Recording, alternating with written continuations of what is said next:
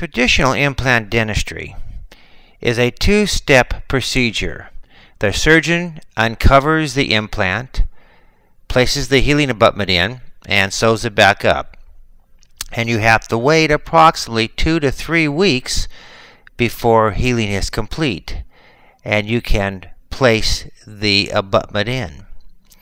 But with the laser, you can actually go through, uncover, get your emergence profile, put your abutment in, take your impression, and if you have the CEREC, place the crown all in one day. It makes it so much easier. The patients have very little to no discomfort after this procedure is done. It can be done only with topical.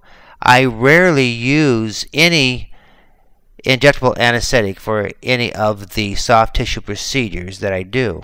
Notice in this video how easy the laser dissolves away or dissects away the tissue.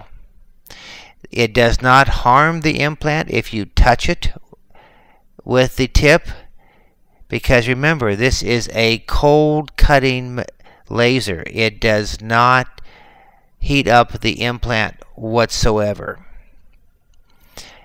As the video is showing, I'm getting the emergence profile right now.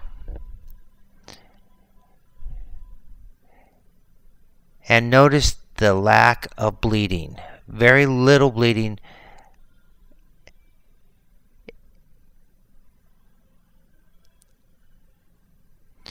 At this point now where we have the implant is totally uncovered. And now I am doing a little more emergence profile.